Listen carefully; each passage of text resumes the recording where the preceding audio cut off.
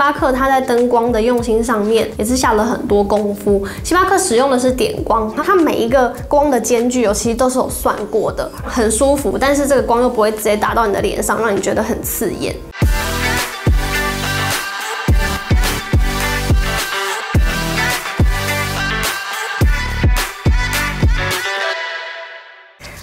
欢迎收看今天的《助手打到全记录》，我是节目主持人 Cindy。那今天呢是一个比较轻松的单元，跟大家聊聊、分享一下呃比较有趣的故事。我们要用一个装潢的角度来看一个品牌的成功。那我们今天选择的题材就是星巴克。我相信啊，以商业空间来讲，大家应该都认同说星巴克是一个很成功的案例。因为我们可以发现哦，世界各地的星巴克虽然保有自己的元素，可是每一个地区、每一间星巴克都有不同的文化跟特色。这也是为什么星巴克它不主打低价的咖啡商品，可是却有这样子的商业实力，到底其中有哪一些细节值得我们去做探讨？我们今天呢就跳脱咖啡商品的本身，我们用这个装潢的角度来跟大家分享一下关于品牌的故事。好，那我们就跟大家来分享一下星巴克的历史哦。在一九七一年呢，星巴克是起源于美国华盛顿的西雅图，主要是由三个人一开始先开了第一间的星巴克。第一个是英文老师 Jerry Baldwin，第二个是历史老师 Zev Siegel，第三个是作家 Gordon Broker。这三个人一开始先合作开了第一间的星巴克，那主要是在卖咖啡豆跟咖啡器材。后来啊，也就是现在的星巴克老板 Howard Schultz 这个人，他筹资买下了星巴克，从此之后让星巴克变成一个美国版的咖啡品牌，开始快速的在展店。后来在一九九六年的时候呢，星巴克就到日本的东京海外展店的第一间星巴克。那也就因为这样子很优质的产品跟服务，所以星巴克就很迅速的变成就是大家都知道的一个全球的品牌。好，就像我们刚刚说的，其实很多星巴克都会找当地很有名的设计师，针对当地的特色去设计每一间星巴克的店面。所以我们用一些图片来让大家看一下，有几间店就比较特别，像是法国巴黎歌剧院店啊，意大利邮局宫店，或是日本福冈的表参道店。接下来我们来看一下星巴克的这个商标，第一版的商标就像画面上看到的，是一个深棕色的商标。我第一次看到这个商标的时候，心里就只有一个。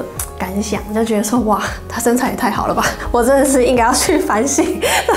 怎么这个美人鱼会这么漂亮啊？它其实这个由来哦，是十六世纪斯堪的纳维亚半岛的美人鱼，一个双尾美人鱼的木雕图案。可以看到画面上，我们用健康的角度来审视她的身材好不好？我觉得很美的。后来不是一样被 Howard 买下了吗？Howard 本身就有一个咖啡品牌叫做每日咖啡，筹资买下之后就把两个 logo 元素结合在一起，保留了后来你看到第二个它。一一样有美人鱼的图案，但是外面就是融合了绿色跟这个 Starbucks 字环的元素，这就是新的 logo 诞生。一九九二年的时候，因为股票上市，所以又改了一个 logo。但是啊，从二零一一年开始，就一直沿用到现在，就是你们现在看到星巴克外面的图案，保留了中间原本是美人鱼，可是已经没有外面字环，这就是现在的星巴克 logo 喽。好，简单介绍完星巴克的历史，我们就来讨论喽。到底为什么星巴克会这么受欢迎？为什么可以吸这么多粉？其实我觉得星巴克它被定位的不是一个很平价的品牌咖啡，但是啊，呃，不知道大家会不会跟我一样？我觉得啦，星巴克它其实算是一种白领阶级的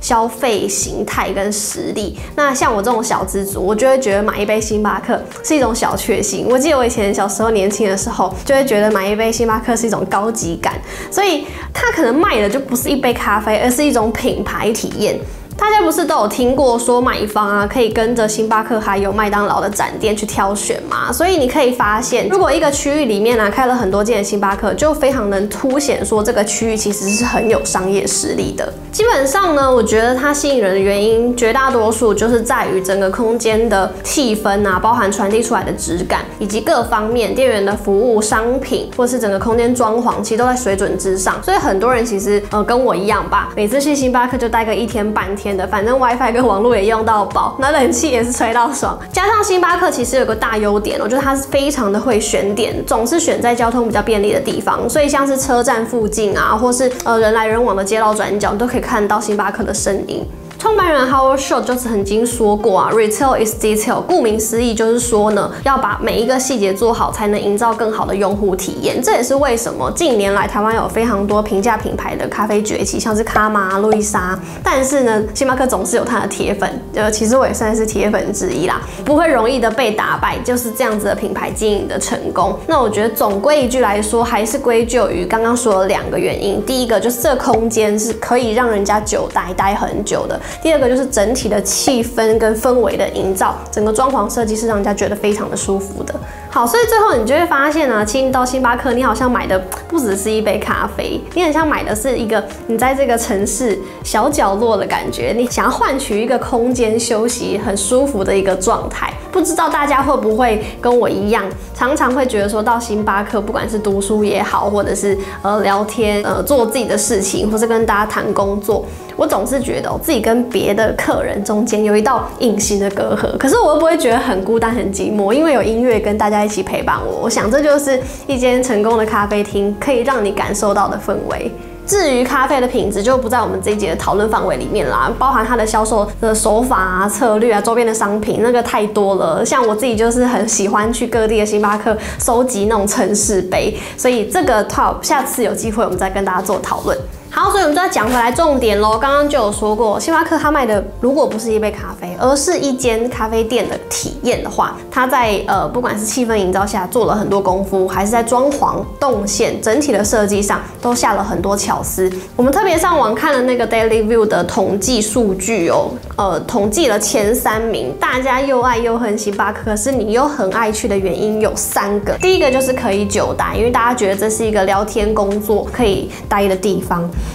第二个就是店内的气氛非常舒适，我觉得他解释蛮有趣的。网友说这个文青潮度加九九九，好像坐在里面就会感觉自己非常的文青。第三个就是咖啡豆的品质稳定，网友都觉得说，其实在口感上面来说，星巴克的咖啡是很有保障的。好，所以在概念上，我们就做一个通整哦。星巴克它其实注重的比较是一个体验，因此它的设计师都是需要到第一线的咖啡店去做服务，用使用者的角度来看这间星巴克它需要的空间、服务还有。整个概念要怎么样去做设计，会比较贴近所谓的消费者。而且啊，星巴克也会采纳消费者的建议哦，会融合当年拿的设计趋势，就把这样子的装饰跟装潢放到他们的设计元素里面。更重要的一点就是我们一直在强调的，它其实是很因地制宜的，保留原本的元素之外呢，它还是融合了一些本土的文化特色，把它们有点本土化，打进这个消费者的心里这种感觉。我觉得在创意上面来讲，是一直不断在创新的，没有那种墨守成规的那种感觉。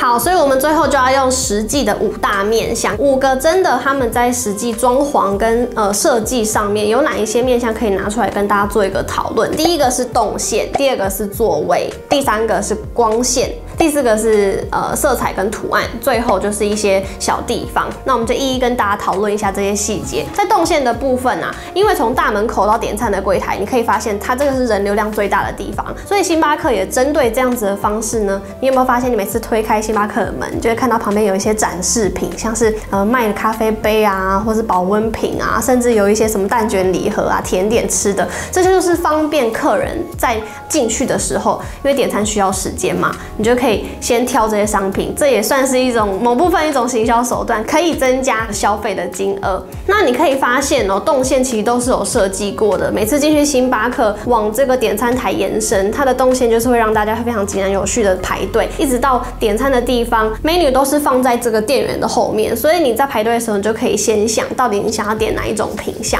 所以这是第一个，在整个空间动线设计的概念上，他们所做的巧思。第二个就是在座位的部分。分，我觉得星巴克蛮聪明的，它是用不同的。桌椅座位的种类来分区不同的区域划分，然后给需要不同呃使用这个空间的人。那你可以发现，其实它在座位的设计上面不会让你觉得说太拥挤啊，或是觉得太空旷。因为太拥挤的时候，有时候会觉得很有压迫感；但很空旷的时候，又少了一种那种咖啡店很温馨的感觉。所以如果你仔细观察星巴克的桌椅，你可以发现有几种形态，像是那种沙发椅，就中间是小小的椅子，不是以前都会讲葛优躺吗？就是 Cindy 躺，就是这样子躺。着，你就可能要在沙发上很 chill 很休闲。另外，像是这种比较真的是提高桌面的角度去用电脑啊，或者是写功课啊，比较适合你书写的这种使用者也有。好，另外还有一种就是吧台的，吧台它就是位置呃高度比较高嘛，所以它比较适合就是你可能就只是想来一杯咖啡的时间，你很快就要走了，你也没有要久坐，毕竟那个位置也不太好坐，或者是你是自己一个人来，你需要一个独自的空间，你就可以选这种吧台的座位。好，第三是灯光，其实我自己个人觉得灯光对于一个咖啡店的经理算是蛮重要的，因为它灯光的强弱暗度会让你感受到整个咖啡厅不同的氛围。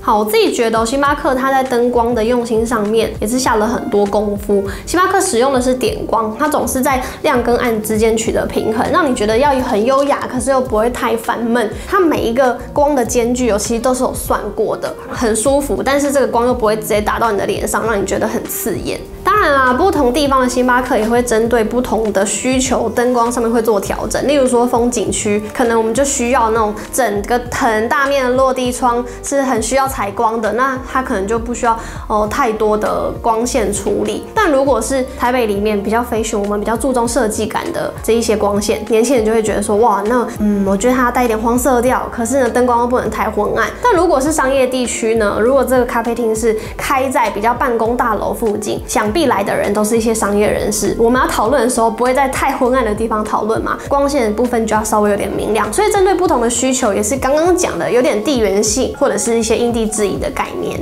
好，最后讲的是颜色。不知道大家如果讲到星巴克，你会第一个想到什么颜色？我其实自己想到是两个颜色，第一个是绿色，第二个就是深棕色。好像整体呀，不管是从什么商品设计，都会从这个角度去做出发。所以你可以发现，色彩是会让人家很有印象。记得的鲜明的记忆点，所以有一句话想跟大家分享。就是星巴克的创意总监 Ben Nelson，他就有说，从星巴克经典的美人鱼 logo，还有到店员的围裙，你就可以发现他们都是打造星巴克的绿色世界，也就是一种颜色叫做 Starbucks Green。这个颜色呢，他们针对每一季的商品推出来的东西，都会从这个颜色去做延伸，以绿色作为主色调，让整个品牌的形象会更鲜明，留在消费者的心目中也会更加深刻。好，最后在听觉方面呢，大家有没有发现，不管去哪间星巴克，其实它音乐的部分还蛮统一的哦，因为星巴克有开发自己的跟咖啡相关的乐曲，它会避免那种比较摇滚啊、重金属啊，就那种很侵略性的音乐，反倒都是用一些